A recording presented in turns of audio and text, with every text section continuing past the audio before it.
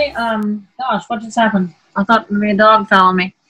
Um, to me, Specifically, with the civil unrest and the types of things that are going on right now, how do you identify yourself in in uh, in the country? and the civil know. unrest is so upsetting. I mean, you know, we've all cried at things that we've seen recently, and I've I've been signing petitions like mad, you know, Yeah, because we need we need change. Um, yeah, we need some reformed areas but um it's very very sad it's very emotional and i think when i wrote the world goes on i think i just wanted to give people some hope and myself included because i do feel like better days are ahead of us and i like i hope it gives people you know three and a half minutes of happiness uh, sorry I, I said i feel like it i hope that it gives people three and a half minutes of happiness. you. Yeah. It's okay. Yeah.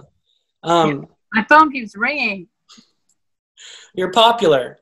No, I don't know about that. Well, Right. Yeah. we have to encourage it and be part of Absolutely. the solution. And signing Absolutely. petitions and being proactive and finding a way to make a difference instead of sitting in silence and just kind of watching Yeah. things. It's important to Exactly. get involved. It really is. And you're part of a community of country music, which Mhm. seems to be a very strong community. And uh, I know that you were part of a benefit for Anita Cochran, maybe a, Oh yeah.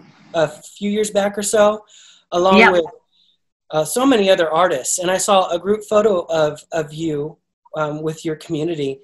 What is it like being a part of a strong community like that? Is it a, a big sense It's of family? fantastic. Yeah, I mean Anita, I've been on the road with her, um, touring with Ty Herndon and and she always plays with Ty.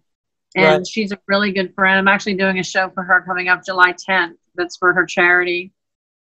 Um, and yeah, she's made a ton of friends and people like Terri Clark, you know, is our friend, and Yes. and Wynonna's I know your group.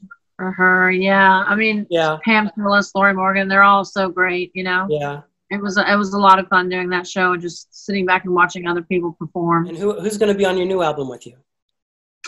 Well, I'm not saying right now. I kind of want it to be it to be a surprise. Okay. How did it feel to get to bring your daughter to the Opry? Oh, fantastic! Yeah, Yeah. she absolutely loved it. Took to it like duck to water. She actually got to sing with me when she was really little, like two or three years old, at the Ryman. So she's done the Opry House and the Ryman now. She can say she's done it. And as we continue to age, our, our voices change. And I really never thought about that until I listened to an interview with Kathy Mattea talking Mm-hmm. about how she had to change her songs up to be able to sing them. Is that a taboo subject in the music industry? I- Are people afraid I don't talk think about so. I I think some people maybe you know kind of cling to wanting to do the songs in the same key that they've always done to prove that they can reach a note. It? And. I don't really feel like that. For me, I think you know as we grow older, things change, voices change. My voice has definitely changed. I still have um, a high range, but I sing all my songs a half a step down from where I recorded them, you know, 20 years ago. So, and I'm, I'm not, you know, I think the most important thing is to be able to keep going and do a 90 minute show, not, you know, wonder why my voice is strained out, you know, because I'm trying to reach notes, you know. So Mhm. I, I have no problem with lowering my keys and talking about. Janie Fricke is the one who told me she? years ago. She said, you know, just remember when you lower your key or do a guitar solo, you, your vocal cords get a break. And she's so right. She's so right. It's an interesting thing that I, I rarely hear people talk about. But Yeah. I think it's such a, it's part of the reality of, of being in a, in an industry like yours. You And the old saying, if you don't use it, you'll lose it. right. And that that's definitely true. Like when you take a break, like this much break of singing. I mean, thank goodness I've had some live streams and the Mhm. recording and everything, but it's it's I'm not singing half as much as I would normally be singing on the road. Right. all of my shows were canceled. All of every entertainer's shows were canceled, and some do better than others where they have financial stability to be able to sit home for Right. six months. But some, like me, we rely on touring. You know, we rely Right. on the money that we make out on the road.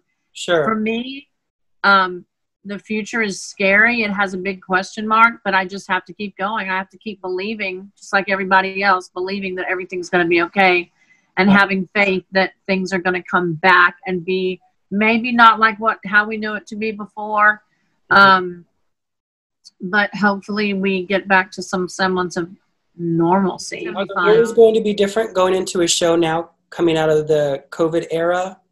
Are there? I think so. They're gonna. They're definitely distancing, and there's. We probably won't have a meet and greet. Right. You know, things like that. Right. Take pictures six feet apart. Yeah. That, will be interesting. With all of your hits, do you consider any one to be your signature song? Probably Arizona. Yeah. And I think this is very telling of anybody. Very insightful. If you had one last meal, and I know you mentioned food twice already, so. Um, Isn't that weird? Yes. so if you if you had to choose one last meal, what would it be? It would definitely have to be Italian food. Yeah. Uh, maybe Greek food. I don't know. Probably Italian food and probably like a lemon pasta with chicken. Chicken.